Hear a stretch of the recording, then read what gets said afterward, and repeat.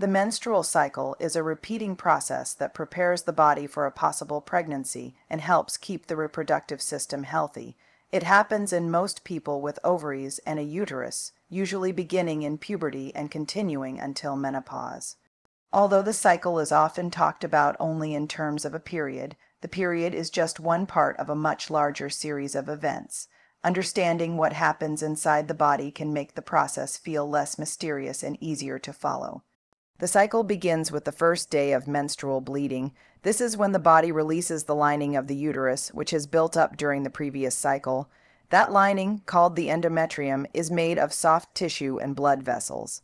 Its purpose is to create a comfortable place where a fertilized egg could attach and grow during pregnancy.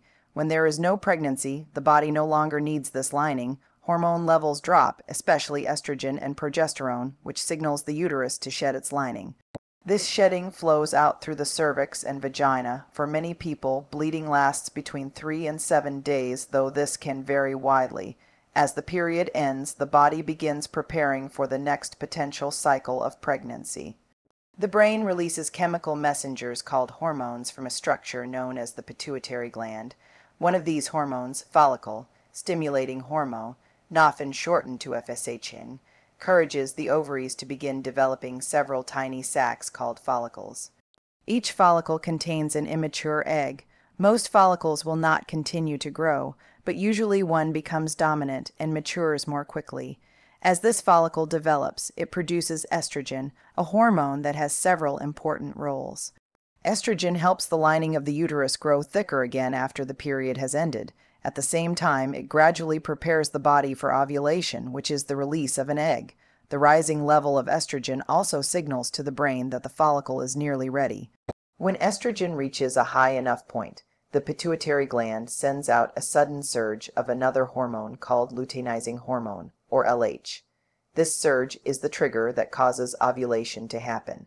Ovulation usually occurs around the middle of the cycle, but this timing can vary from person to person. During ovulation, the mature follicle opens and releases the egg into a structure called the fallopian tube. The egg begins to travel slowly through the tube toward the uterus. This journey is supported by gentle muscular movements of the tube and tiny hair, like structures called cilia, that help guide the egg forward. The egg remains capable of being fertilized for only about 12 to 24 hours. If sperm are present in the reproductive tract during this time, the egg may be fertilized and pregnancy can begin. If no sperm meet the egg, the egg will eventually dissolve. After ovulation, the empty follicle transforms into a temporary structure called the corpus luteum. This structure produces progesterone, another hormone that plays a key role in preparing the uterus for a possible pregnancy. Progesterone causes the uterine lining to become thicker, softer, and richer in nutrients, making it more suitable for a developing embryo. It also helps keep the lining stable so it does not shed too soon. During this time, body temperature may rise slightly, and some people notice changes in energy levels, appetite, or mood. These changes vary widely and are influenced by the shifting hormones.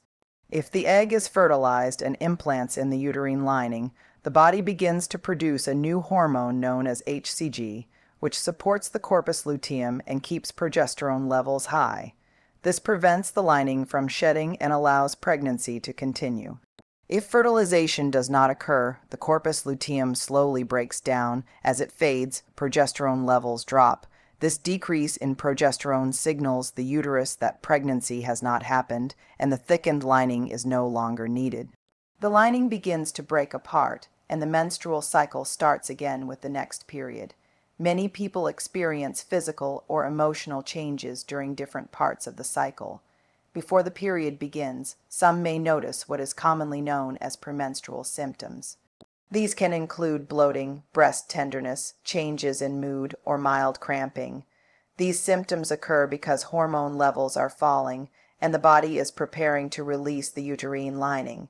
Mild discomfort is common, but severe pain or symptoms that interfere with daily life may signal a condition such as endometriosis or hormonal imbalance, and it is helpful to discuss these patterns with a health care professional. The length of the menstrual cycle can vary. A typical cycle lasts about 28 days, but anything from 21 to 35 days is often considered normal. Younger people who have recently begun menstruating and people approaching menopause may experience more irregular cycles because hormone patterns are still stabilizing or beginning to change. Stress, significant changes in weight, intense exercise, illness, and certain medications can also affect timing.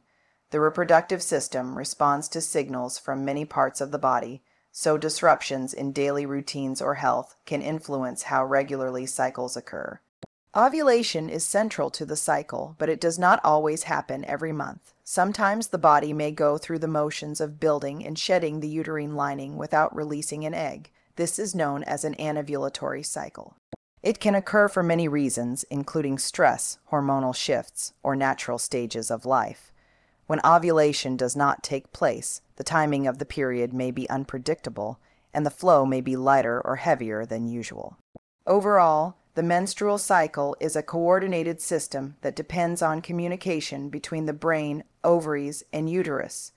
Hormones act as signals that rise and fall throughout the month, guiding each step from the development of an egg to the building and shedding of the uterine lining.